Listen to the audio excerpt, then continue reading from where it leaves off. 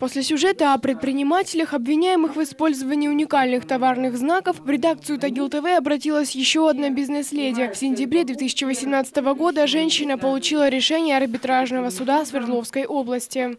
Мне пришел штраф в виде 70 тысяч рублей на лунтика.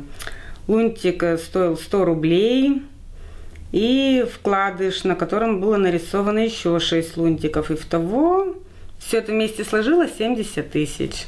Бизнес-леди подала апелляцию. Все документы рассмотрели на закрытом заседании. Суд принял решение в пользу общества истца, студии анимационного кино «Мельница». Затем, без уведомления, со счетов Екатерины сняли 70 тысяч рублей. С выдвигаемыми обвинениями предпринимательница не согласна. В деле написано, что есть фотография рядом с моей точкой.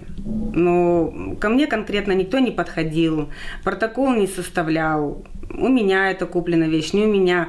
Я вообще не продавала эти игрушки. У меня было покупай шарик, а игрушка в подарок. В итоге предпринимательница была вынуждена закрыть торговую точку.